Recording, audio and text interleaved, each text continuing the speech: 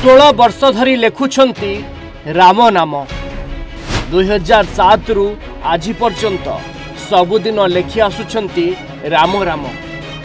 ହଁ ରାମ ମନ୍ଦିର ନିର୍ମାଣ ନ ହେବା ପର୍ଯ୍ୟନ୍ତ ଲେଖିବାକୁ ନେଇଥିଲେ ଶପଥ। ଦଶବନ୍ଧୁ ଏ ବ୍ୟକ୍ତି ହେଉଛନ୍ତି ସୁଶୀଲ।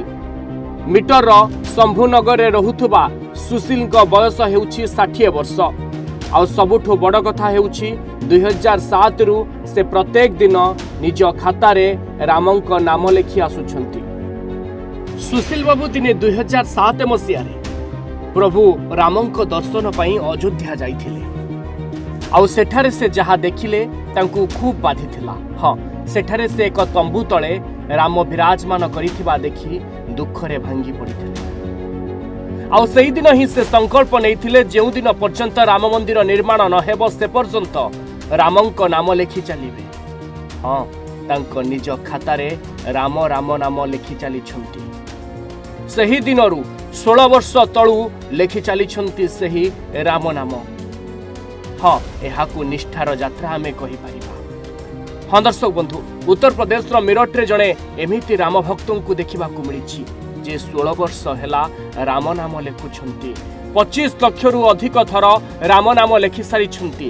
ପୂର୍ବରୁ ସେ ଯେଉଁ ପ୍ରତିଜ୍ଞା କରିଥିଲେ ତାହା ଜାନୁଆରୀ ବାଇଶ ତାରିଖରେ ପୁରା ହେବାକୁ ଯାଉଛି। ହଁ ଷୋହଳ ବର୍ଷ ତଳେ ସେ ଯେଉଁ ସ୍ୱପ୍ନ ଦେଖିଥିଲେ ଏଇ ଜାନୁଆରୀ ବାଇଶ ତାରିଖରେ ପ୍ରାଣ ପ୍ରତିଷ୍ଠା ହେବାକୁ ଯାଉଛନ୍ତି ଶ୍ରୀରାମ। ହଁ ଯେଉଁଦିନ ଅଯୋଧ୍ୟାରେ ରାମ ମନ୍ଦିରରେ ରାମ ପ୍ରାଣ ପ୍ରତିଷ୍ଠା ହେବ ଆଉ ତାପରେ ଏହି ବାବୁଙ୍କର ଏହି ମିରଟର ଶମ୍ଭୁନଗରରେ ରହୁଥିବା ସୁଶୀଲ ବାବୁଙ୍କର ମନସ୍କାମନା ପୂର୍ଣ୍ଣ ହେବ।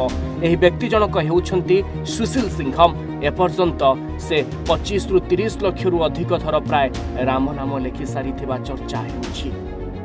ରିପୋର୍ଟ ଓଡ଼ିଶା ଭାସ୍କର। जतक विचार एवं गृह वास्तु जनित समस्या समाधान जोाजोग करूँ ज्योतिर्विद, वास्तुविद, श्री मानस चंद्र नायक। जोाजोग करूँ nine four three eight, four eight one seven four eight.